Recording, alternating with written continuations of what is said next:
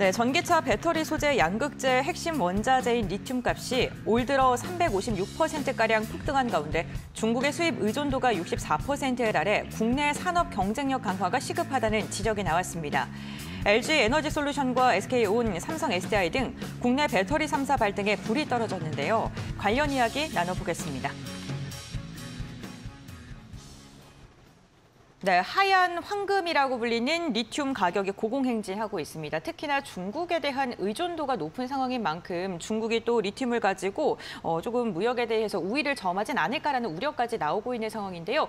정확히 얼마나 좀 심각한 상황입니까? 뭐 리튬 최근에 보시면 2차 전지 시장이 커지면서 네. 구조적으로 성장을 해주고 있는데 최근 들어서 일론 머스크도 굉장히 의미 있는 얘기를 했었어요. 이 리튬 하나 가지고 라이센스를 하- 하나 따게 되면 뭐 돈 찍어내는 면허를 갖게 어. 되는 거다라고 할 정도로 리케, 어, 리튬의 가격이 굉장히 중요하다. 그리고 어, 산업에서 그 에너지를 얼마나 많이 차지하고 있느냐가 산업 경쟁력으로 전략적으로 자리를 잡을 수 있을 텐데 이번에 한국에서 한국무역협회가 29일에 발표한 이 리튬 보고서를 보시면요. 지난 3월에 리튬 평균 가격이 톤당 7만 4,869달러였습니다. 그래서 최고가를 한번 기록을 한 이후로 지난달 26일 기준으로 봤을 때도 톤당 7만 400달러로 여전히 높은 상황에 있다라고 보시면 좋을 것 같습니다. 3원계 배터리의 양극재 소재로 필수적으로 들어가고 있기 때문에 어, 그 안에서도 이제 원가 비중이 65%를 차지합니다. 굉장히 높은 비중을 리튬이 차지하고 있다. 그 안에서 수입 의존도가 국내로서는 거의 100%에 달하기 때문에 리튬 가격이 국내 어, 배터리 업계 들한테 굉장히 중요하다라고 보여지고 있고요. 대표적인 양극재 소재로 말씀드렸습니다. 그 안에 리튬을 보시면 탄산 리튬으로 나뉘고 또 수산화 리튬 이렇게 두 가지로 나뉩니다. 보통 탄산 리튬이 중국이 조금 주도적으로 생산을 하고 있는 LFP 배터리입니다. 리튬 인산철 배터리에 많이 네. 쓰이는 것들이 탄산 리튬이고요. 어, 우리가 모두 알다시피 LFP 배터리는 이 배터리 효율 자체가 조금 떨어집니다. 네. 인산철이라는 게 가격도 조금 싸고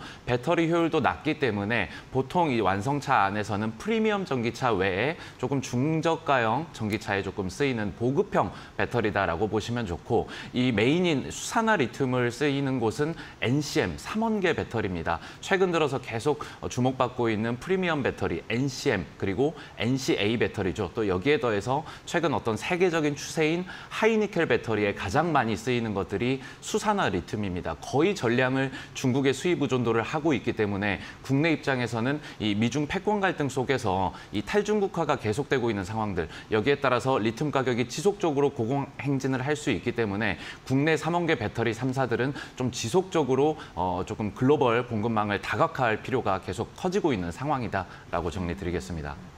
네, 그렇군요. 이제 뭐 2차 전지의 수급은 계속해서 늘어날 수밖에 없는 상황인데 이러한 시장이 조금 더 심각해질 것으로 예상이 되고 있습니다.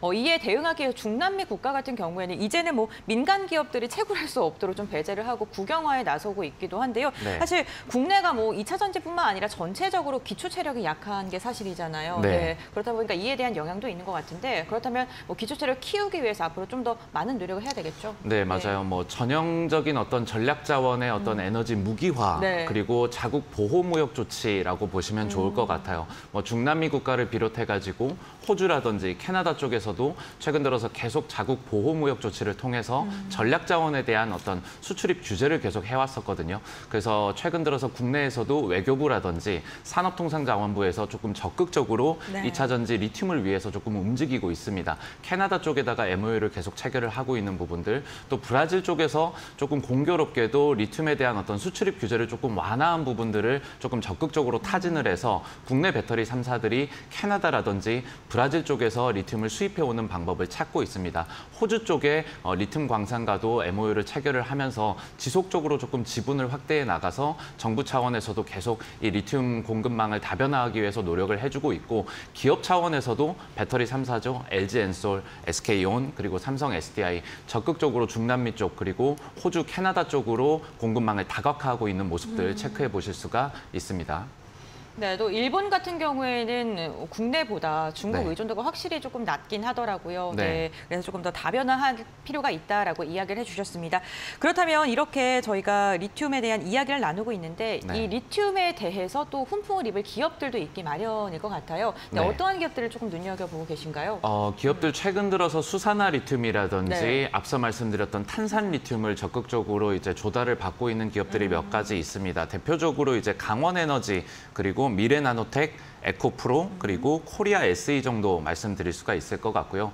강원 에너지는 6월 경주시와 수산화 리튬 계약을 체결을 했습니다. 그래서 양극재 첨가제 생산 공장을 경주시에 건립을 하기로 했고요. 약 395억 원 규모입니다. 그래서 2024년도에 완공이 될 예정이기 때문에 해당 부분 조금 지켜보셨으면 좋겠고 최근 들어서 미래 나노텍 주가가 계속 좋았습니다. 뭐 미래 나노텍 외에도 어, 수산화 리튬 관련 종목들 최근 들어서 시세 분출이 다 있었거든요. 워낙 지수가 눌렸으니까 최근 뭐 어, 단기간에 조금 조정을 받는 모습도 있는데 미래 나노텍 보시면 최근에 이슈가 됐던 게 2월에 미래 첨단 소재를 인수했습니다. 미래 첨단 소재를 보시면 수산화 리튬을 LG 엔솔 그리고 그 포스코 케미칼 등의 대형 2차 전지 셀 업체 등에 공급 중입니다. 세계 최고 수준의 양극재 소재 그리고 수산화 리튬 가공 기술을 가지고 있기 때문에 미래 나노텍이 미래 첨단 소재 인수로서 계속 관심을 받고 있는 거고 에코프로 뭐 에코프로 BM 뭐 대표적으로 수산화 리튬 뭐 내재화를 위해서 계속 노력을 하고 있는 부분들